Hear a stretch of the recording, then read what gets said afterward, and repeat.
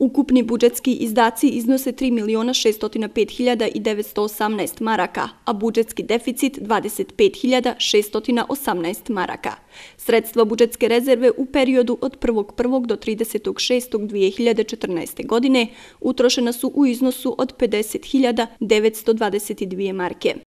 Vidjeli ste, imamo e, manje sredstava od planiranih, e, ali i realizacija i nekakav mali, ajde da kažem, suficit je ostvaren.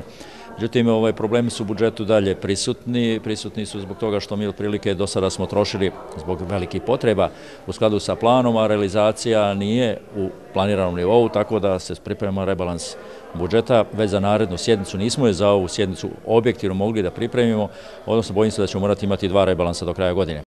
Na današnjoj sjednici usvojena je odluka o dodjeli priznanja u opštini Brodu 2014. godini. Prema toj odluci, Đorđe Maksimović dobitnik je povelje pokrova presvete Bogorodice, dok će 7. oktobarska povelja biti uručena Đorđu Cvjetkoviću.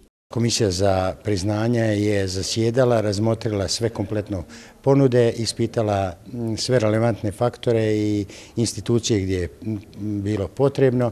Dobila je suglasnost i od predloženih kandidata, pored e, te dvije osobe koje ste vi rekli, gospodina Maksimovića i gospodina Cvetkovića, još osam osoba je dobilo i zahvalnice.